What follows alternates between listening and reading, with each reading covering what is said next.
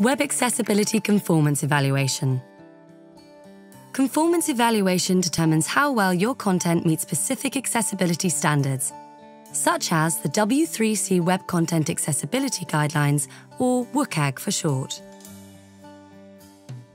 Often you'll want to do conformance evaluation as a final check before releasing a product in order to provide information to potential purchasers of your product, to regularly monitor the accessibility of your website, before procuring a product, and when getting started with implementing accessibility to get a list of accessibility issues that you need to address.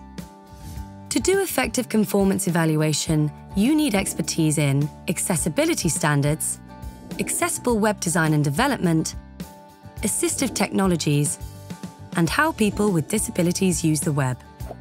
You'll probably also want to use evaluation tools to be more efficient. WCAG EM, the Website Accessibility Conformance Evaluation methodology, provides a structure for your evaluation process. It describes a process to define the scope of your evaluation, explore your website assets, select a representative sample of web pages from your website, evaluate the selected sample, and report your evaluation findings.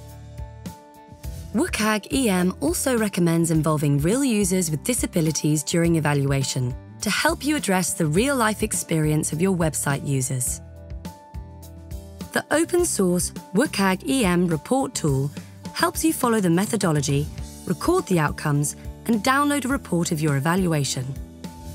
Web accessibility, essential for some, useful for all. For information on web accessibility conformance evaluation, visit w3.org slash WAI slash evaluation.